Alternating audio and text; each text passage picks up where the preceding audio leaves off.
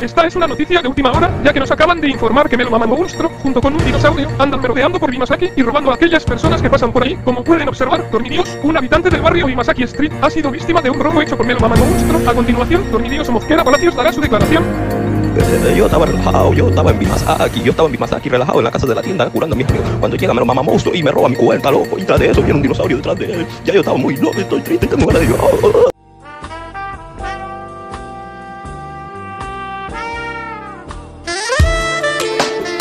Hola, mucho gusto. Soy Sexica y hago parte del Departamento de Policías de Garena. Estamos trabajando para que muy pronto este ladrón pueda ser capturado y así todo regrese a la normalidad. Gracias, Sexica, por su entrevista. Espero que Domidios recupere su cuenta y Mamame el monstruo sea capturado y deje de estar quitándole sus pertenencias a los que viven en Bimasaki.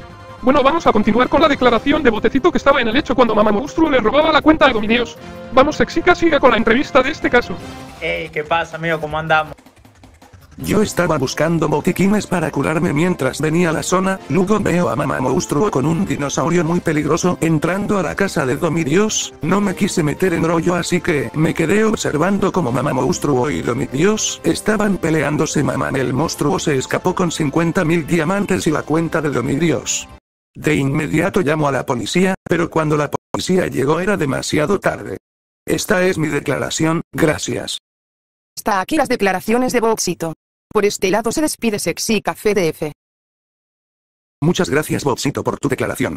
Ahora ya sabemos todo lo que pasó, y mamá monstruo, te quiero decir que te estamos dando seguimiento a ti y a tu dinosaurio.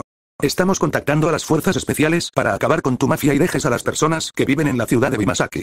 Escóndete todo lo que puedas pero... Hasta aquí me despido con el primer boletín de este caso que le pasó a Domidios, fue un placer compartirles las últimas novedades de lo que está pasando en el mundo de Free Fire. Esto noticia y lo que es noticia el mundo lo debe de saber. Bueno mi gente, así de esta forma empezó nuestra miniserie mi gente. Espero que les haya gustado esta miniserie.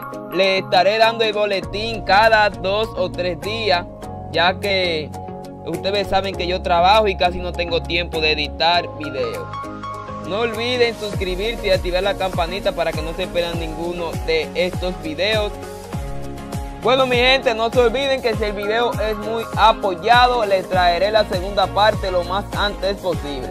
Así que no se olviden de darle like y dejar su épico comentario, así me enteraré si en realidad les gustó el video. Sin nada más que decir mi gente, fue un placer, les traje este video con mucho amor, espero y les haya gustado y arrancamos.